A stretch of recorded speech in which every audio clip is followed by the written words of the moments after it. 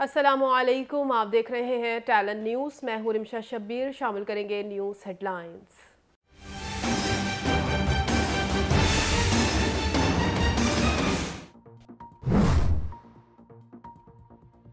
मकबूजा कश्मीर की कानूनी हैसियत को यकतरफा तब्दील करने के भारत के गैर कानूनी इकदाम को तीन बरस मुकम्मल। मकबूजा वादी में भारत के जाबराना तसलुत के खिलाफ पाकिस्तान समेत दुनिया भर में रैलियाँ, योम इस्तेसाल पर इस्लामाबाद की फ़जाएँ कश्मीर बनेगा पाकिस्तान के नारों से गूंज उठी। ख्वाजा आसिफ, मुशीर उमूर, कश्मीर कमर जमान कायरा और सेक्रेटरी खारिजा की रैली में शिरकत, एक मिनट की खामोशी इख्तियार की गई, खसूसी दुआएँ की गईं।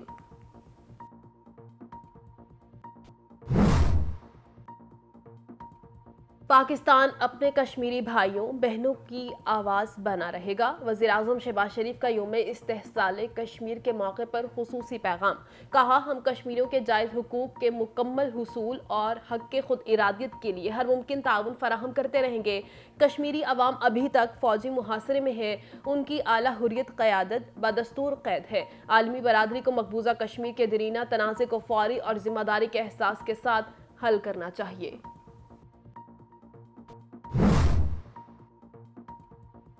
चेयरमैन तहरीक इंसाफ इमरान खान ने आलमी बरदरी की मकबूजा कश्मीर में भारतीय बरबरीत पर खामोशी को काबिल मजम्मत करार दे दिया।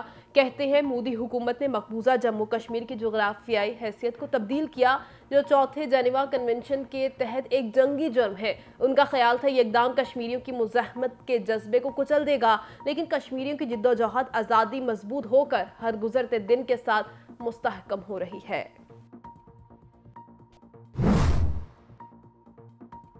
आलमी तंजीम ह्यूमन राइट्स वॉच ने मोदी सरकार को अड़े हाथों ले लिया। कहा, मकबूजा जम्मू कश्मीर में अब भी जुल्म बरबरीत का सिलसिला जारी है। भारत गैर कानूनी तौर पर आज़ादी इजहार राय और दीगर बुनियादी हकूक को महदूद कर रहा है। आलमी इदारे का वादी में सिक्योरिटी फोर्सेज की जुल्म बरबरीत पर शदीद इजहार तशवीश।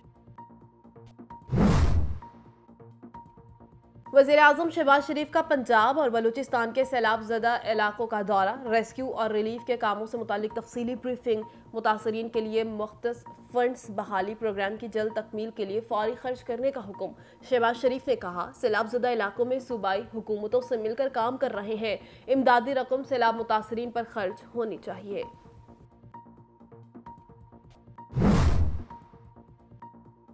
आर्मी चीफ की पाकिस्तान के लिए एक और बड़ी काविश, कमर जावेद बाजवा का सऊदी अरब और यूएई हुकाम से रबता। आईएमएफ प्रोग्राम के हवाले से गुफ्तु पाकिस्तान के लिए अच्छी खबर, जल्द मुतव इससे कबल आर्मी चीफ ने अमरीकी हुकाम से भी रबता किया था। आईएमएफ से कर्ज का अमल तेज करवाने की अपील की।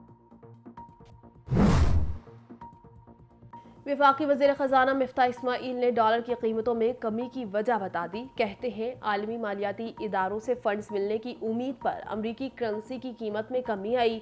दोस्त ममालिक इंतज़ार में है कि आईएमएफ पैकेज दे तो वो इमदाद ने मुश्किल फैसले करके मुल्क को डिफ़ॉल्ट से बचाया। अब तीन माह तक इम्पोर्ट नहीं बढ़ने देंगे। इसी दौरान कोई हमत अमली बनाएँगे। रवा साल बजट खसारा कंट्रोल करना है। इलेक्शन कमीशन ने काफ लीग के इंट्रा पार्टी इंतबात रोक दिए। चौधरी शुजात के इंट्रा पार्टी इलेक्शन रुकवाने की दरख्वास्त पर समाल चीफ इलेक्शन कमिश्नर ने रिमार्क्स दिए। हम दीगर फरीकैन को नोटिस जारी कर रहे हैं। आइंदा समात 16 अगस्त तक मुलतवी। मस्जिद नबी सल्लल्लाहु अलैहि वसल्लम की हरमत पामाल करने वाले तीन पाकिस्तानियों को 10-10 साल, तीन को 8-8 साल कैद की सज़ा। सऊदी अदालत ने मुलजमान को 20-20 हज़ार रयाल जुर्माना की सज़ा भी सुनाई। मुलजमान ने वजी अजम शहबाज शरीफ के दौरे सऊदी अरब के दौरान चोर चोर के नारे लगाए थे।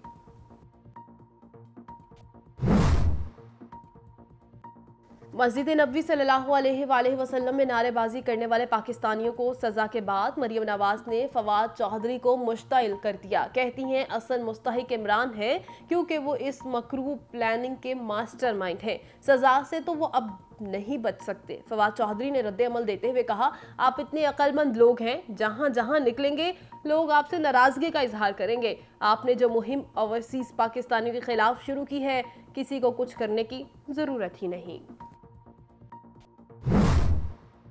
शहर कैद समेत सिंध भर में मुहरम हराम के दौरान डबल सवारी पर पाबंदी आए। नोटिफिकेशन जारी।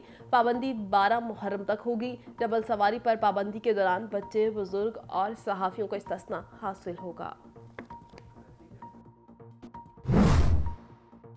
कराची के शहरी होशियार खबरदार मानसून का नया स्पेल आज शहर में दाखिल होगा। महकमे मौसमियात की बारिशों का नया सिलसिला 9 अगस्त तक जारी रहने की पेश गोई।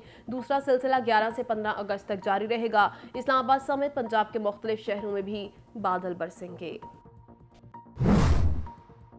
डॉलर की ऊँची परवाज थम गई। अमरीकी करेंसी की कीमत में कमी का रुझान बरकरार। इंटरबैंक में डॉलर एक रुपए पंद्रह पैसे सस्ता 225 पर फरोख्त होने लगा। दूसरी जाने पाकिस्तान स्टॉक मार्केट में आज भी मुस्बत रुझान। 100 इंडेक्स में 200 से जायद पॉइंट्स का इजाफा।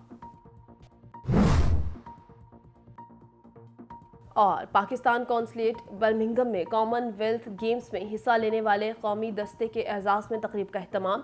मीडिया के अलावा कम्यूनिटी से ताल्लुक़ रखने वाली शख्सियात की शिरकत, पाकिस्तानी वेट लिफ्टिंग में गोल्ड मेडल हासिल करने वाले नोह दस्तगीर बट ने खसूसी तौर पर टैलेंट न्यूज़ से गुफ्तु की।